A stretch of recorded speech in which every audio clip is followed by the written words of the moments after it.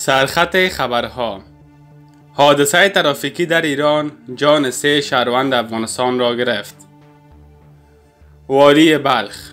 فرار 17 سرباز به تاجکستان را تکذیب کرد.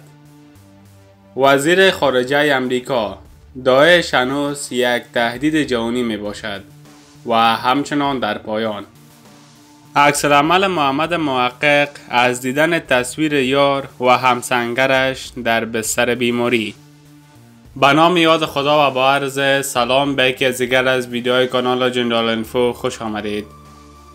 در پای وقوع یک حادثه ترافیکی در جاده دیواندره در ولایت کردستان ایران سه شهروند افغانستان کشته شدند خبرگزاری افاق خبرگزاری رسمی ایران ایرنا به نقل از ایسا گوهری فرمانده پلیس رای کردستان گزارش داد که شامگاه روز یک شنبه یک موتر نو سمنت که حامل آن شهروندان افغانستان بود با یک کامیون برخورد کرده است.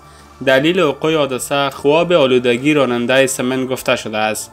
با گفته گوهری دیگر سرنشینان موتر سمن هم به دلیل آسیب دیدگی به شفاخانه منتقل شدند و وضعیتشان وخیم نیست. دیروز نیز گزارش شده بود که موتر حامل اتباع خارجی در ولایت سیستان و بلوچستان ایران حادثه کرده و در پی آن هشت نفر جان دادند. مقام های ایرانی در مورد هویت قربانیان حادثه دیروز چیزی نگفتند. اما برخی رسانه ها گزارش دادند که آنان شهروندان افغانستان هستند. والی بلخ فرار 17 سرباز به تاجیکستان را تکذیب کرد. فرهاد عظیمی والی بلخ می‌گوید که گزارش های نشر شده مبنی بر فرار 17 نیروی امنیتی از ولسوالی کلدار این ولایت به تاجیکستان واقعیت ندارد. والی بلخ امروز سه شنبه هشتم سرطان در یک نشست خبری گفت که نیروهایی که در ولسوالی کلدار مستقر بودند پس از شدت جنگ در روز اول به حیرتان رفته و دوباره برگشته و در ولسوالی کلدار مستقر شدند. عظیمی افزود اصلا زمینه برای این که فرار بکنند فراهم نشده است. در قنداز سربازان به تاجکستان رفتند اما در ولسوالی کلدار این کار صورت نگرفته است. او گفت که تنها یک فرمانده طوله لوای ششم سرحدی که در محاصره جنگجویان طالبان قرار داشت با هلیکوپتر به تاجیکستان رفته است. این در حالی است که در خبرگزاری دولتی تاجیکستان گزارش داده است که 17 نظامی افغان روز یک شنبه ششم سرطان پس از درگیری در روسای چکچک ولایت بلخ مجبور شدند تا از طریق پازگاه شرطوس وارد خاک تاجیکستان شوند.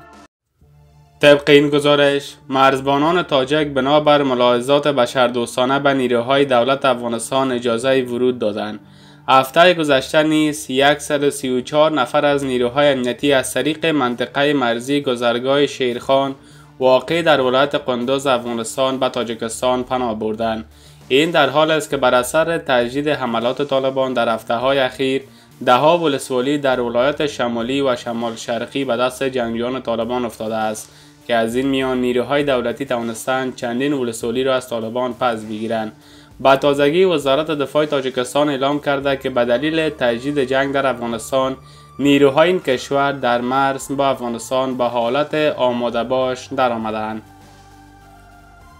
وزیر خارجه امریکا داعش هنوز یک تهدید جهانی است وزیر خارجه امریکا در نشست وزیران خارجه چل کشور برای مقابله با دولت اسلامی موسوم به داعش اعلام کرد که عناصر این گروه هنوز یک تهدید جهانی هستند خبرگزاری افاق. نشست ائتلاف بین المللی برای شکست گروه دولت اسلامی با حضور وزیران خارجه حدود نیم از 83 کشور عضو این ائتلاف روز دوشنبه هفتم سرطان با رهبری امریکا در ایتالیا آغاز شد. در این نشست همچنین ینس استولتینبرگ دبریکل ناتو و جمعی از رؤسای نهادهای بین المللی حضور دارند. آنتونی بلنکن وزیر خارجه امریکا در نشست روم از پیشرفت چشمگیر در مبارزه با گروه دولت اسلامی خبر داد اما گفت که هنوز کارهای باقی مانده است که باید انجام شود. او اظهار داشت داعش در قلمرو خود در عراق و سوریه شکست خورده اما حملات این گروه طی چند ماه گذشته نشان می‌دهد که همچنان یک تهدید است. وزیر خارجه امریکا همچنین با اشاره به تهدید فزایند داعش در افریقا پیشنهاد داد که یک گروه کاری مشترک برای مقابله با این موضوع تشکیل شود آقای بلینکن گفت ائتلاف بین المللی برای مقابله با داعش در سال جاری 507 میلیون دلار اختصاص داده شده است و تلاش می‌کنیم این رقم به 670 میلیون دلار برسد.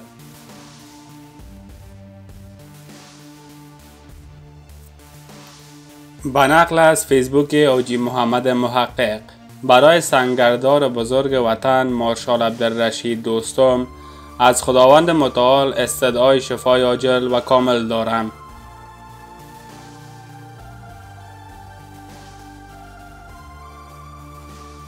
پاکستان از طالبان چه می خواهد؟ خبرگزاری افاق. ادامه. پاکستان می داند که هدف از ایجاد چنین پایگاه هر چی باشد به سود سلطه طالبان بر افغانستان نیست و این با منافع استراتژیک اسلام آباد در افغانستان تاراز دارد. دلیل دیگر هم این است که پاکستان نمی خواهد به افغانستان دیگر تبدیل شود زیرا وجود پایگاه یا پایگاه های نظامی امریکا در خاک آن کشور توجیه مناسب برای گروه های جهادی برای مبارزه مصالحانه است. چیزی که پاکستان هرگز همچنان می خواهد که اشاره امران خان به احتمال به بار آمدن ویرانی بیشتر نیست می باشد با این حال موضوع دیگر این است که پاکستان در قبال مخالفت با ایجاد پایگاه نظامی امریکا در خاک خود از طالبان انتظارها و مطالبات دیگر دارد که یکی از مهمترین آنها سرکوب طالبان پاکستان و سایر جریانهای ستیججو و جدایی طلب است که علیه رژیم اسلام آباد فعالیت می کنند. پاکستان مدعی است که مراکز اصلی نیروها در افغانستان قرار دارد و بعضا حلقات امنیتی دولت افغانستان را متهم به حمایت از این گروه ها کرده است در سالهای گذشته همچنین مناطق مرزی ولایت کنر و نورستان آماج راکتباری های ارتش پاکستان بوده که به بهانه سرکوب اسلحه های مسلح ضد پاکستانی انجام می گرفت. با این حساب درخواست وزیر امور داخله پاکستان از طالبان به نوع نشان می‌دهد که دو طرف در صدت داد و ستت نظامی در ابعاد گستردهتر هستند. داد و ستتی که بر اساس آن پاکستان به امریکا اجازه حضور نظامی در خاک خود علیه طالبان را نمی‌دهد و از آن سو طالبان باید گروه های شورشی و جدایی طلب پاکستانی را سرکوب کنند.